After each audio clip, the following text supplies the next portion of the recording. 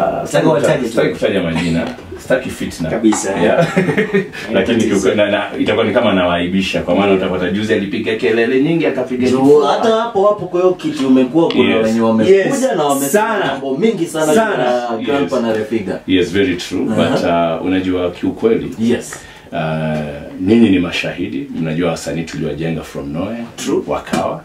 Na wanasema kila siku kama unadhulumiwa ukipata nafasi mpya utainuka zaidi.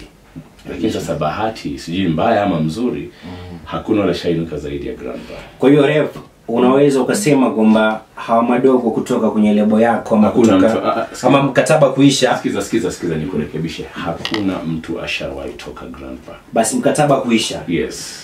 Kati ya grandpa na wao. Yes. Hai, mambo hayawajaendea vizuri kivyo mambo hajakuwa vizuri sana. unaonaje Ah, mimi nakuuliza kwa sababu wewe. Kwa sababu wewe. nasikiza sikiza sikiza. Yes. it's very evident. Ndio. Ni ukweli Sio- sio biashara asili si ndio? Nani yuko kwenye chat? Eh, Ankali. nionyeshe moja. Ukiwaona waambie wamtafute babu waje waombe msamaha. Asante. Alafu babu atawasamea kwa hiyo walikukosea. No, ref kwa hiyo walikukosea. Ma, makosa ni moja. Ndio kusema uongo mm. kueneza uongo. Kama contract imeisha sema tu contract imeisha na naanza maisha yangu upya. Waelewa? Kabisa. Kuna wasanii kama silisanyo mm. silisanyo tumekuwa naye kama miaka mitano contract iliisha lakini paka leo we have a good working relationship. In fact paka we are supporting her album launch next week tutakuwa eh, Kampala. Kabisa. Will be one of the sponsors. Waelewa? We have a good yani she's one of the most mature artist kabisa Waire, one of the most mature, disciplined artists I've ever come across, and we have a good relationship till today.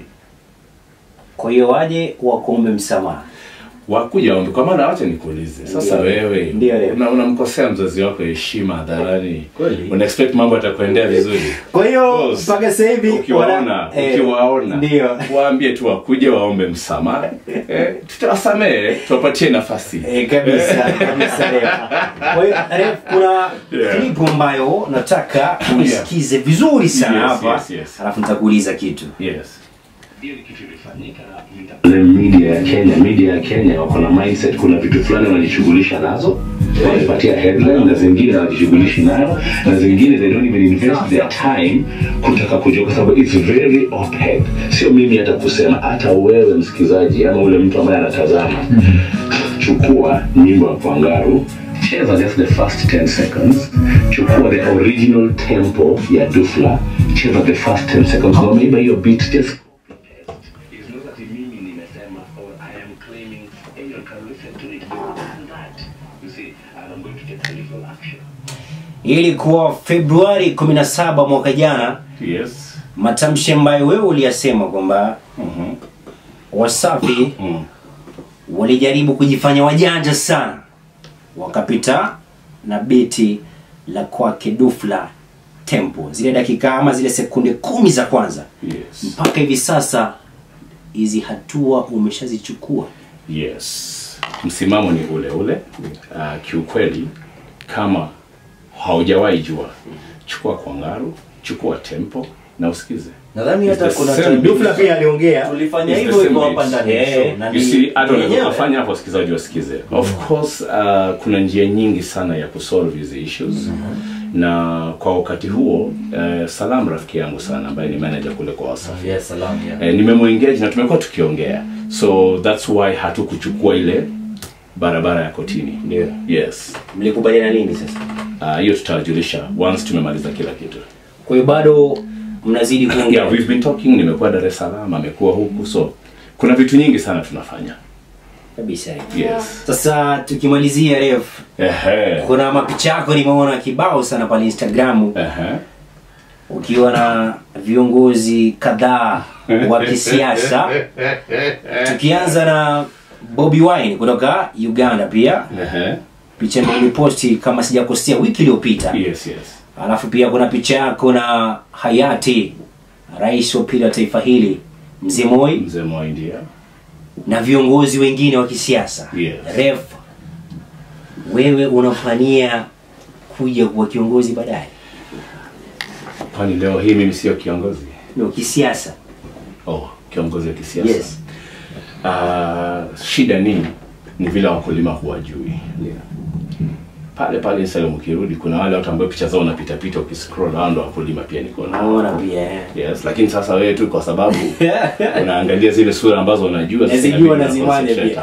sana sana. Mimi ni mtu wa watu leo utaniona na wakulima yeah. kesho utaniona na wanasiasa. So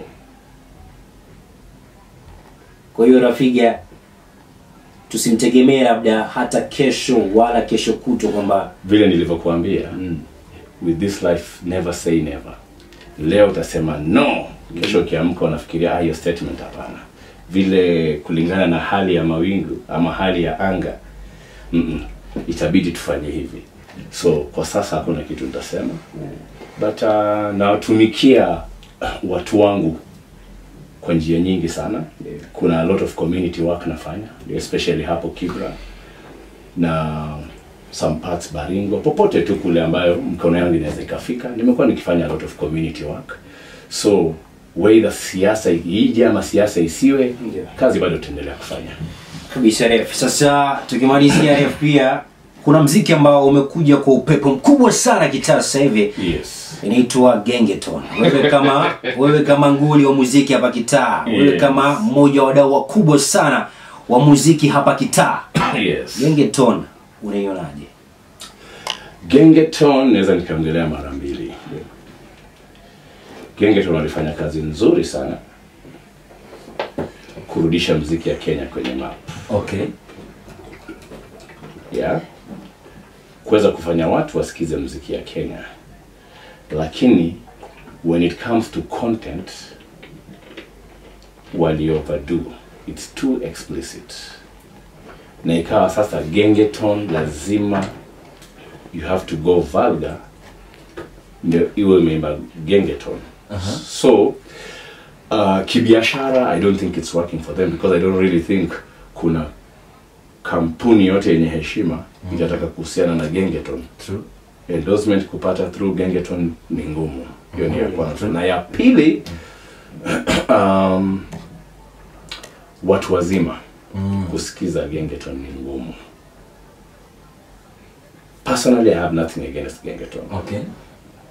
Nadhani wali- wali- walikuja na beat nzuri mzuka lakini content ndio imekuwa Eh, shida. lakini lakini argument ya watu wa gengeton uh, wanasema unajua they are saying hizi ni vitu ambazo zimekuwa na ni venye hakuna mtu wa kuzisema. They are just saying we are expressing ourselves na njia ambayo sisi tunajua zaidi una get? But uh, you see if mm -hmm. that's the case mm uh, Because wanasema hizi ni vitu zinafanyika hizi ni mambo zinasemwa.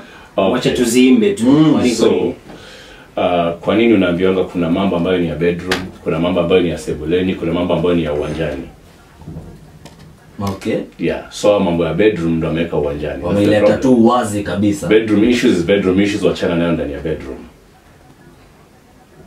Kwa hiyo hawana muda uh, kwangu if they continue the same same direction nawapatia at most four months. Four months. Miezi minne. The same same direction four months. Na hiyo story itakuwa imeisha. You move to the next sound.